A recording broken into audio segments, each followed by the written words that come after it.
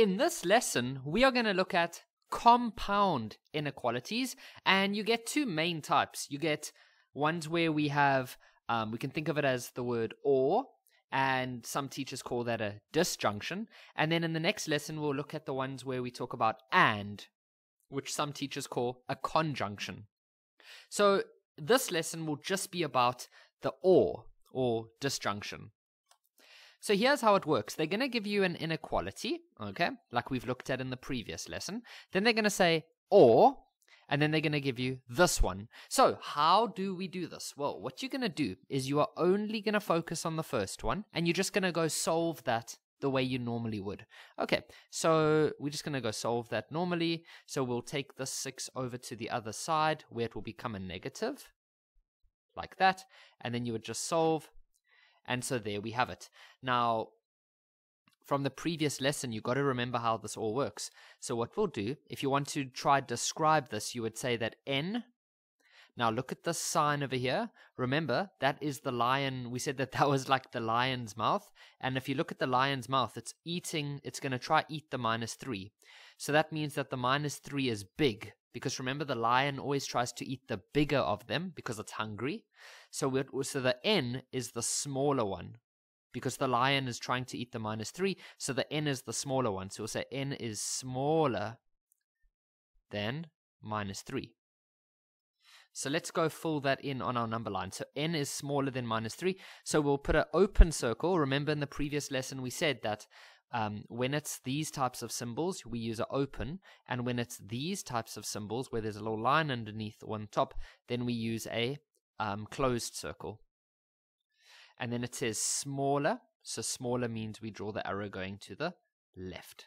Okay, now what we're going to go do is we're just going to go do this one over here. So that says that n plus 5 is bigger than 6. So if we're to solve, you would take this 5 over.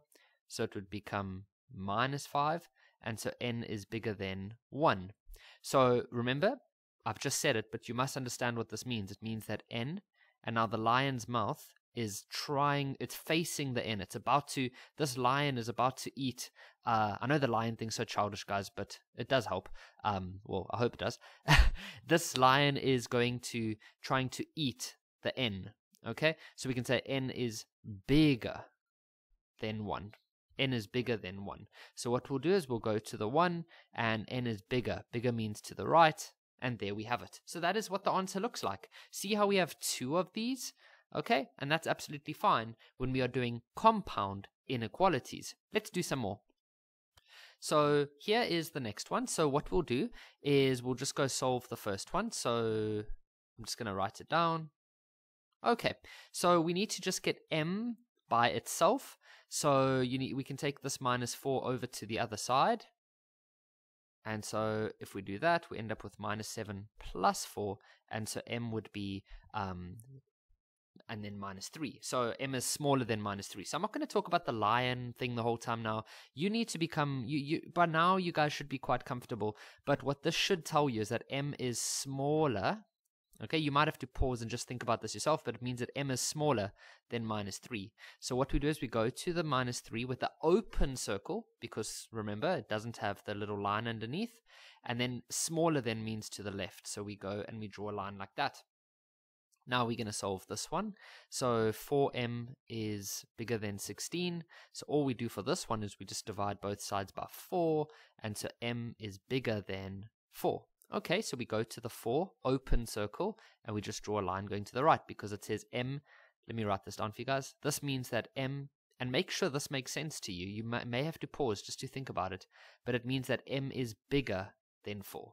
Okay, here's our next one. So we're just going to go ahead and solve the first one. So it says that 6b is smaller than minus 36. So we'll just divide by 6 on both sides. And so the sixes would cancel, and so it'd end up with b is smaller than minus 6. So let me just write that down. b is smaller. You don't have to write this part in your tests at school. Uh, this is just me trying to show you what it means. And you must make sure that you agree with me. Okay, so we go to the minus 6, and it says that the b is smaller. So we do it like that. Now let's look at this one. So we say 6b is bigger than or equal to 30. So we divide both sides by 6. Sorry, that is a b. And so what you'd end up with is b is bigger than or equal to 30 divided by 6 is 5. Okay, now this one says that b is bigger or equal to 5. So we go to the 5, which is here, and we do a solid circle now. Why? Because we said that it is bigger and equal.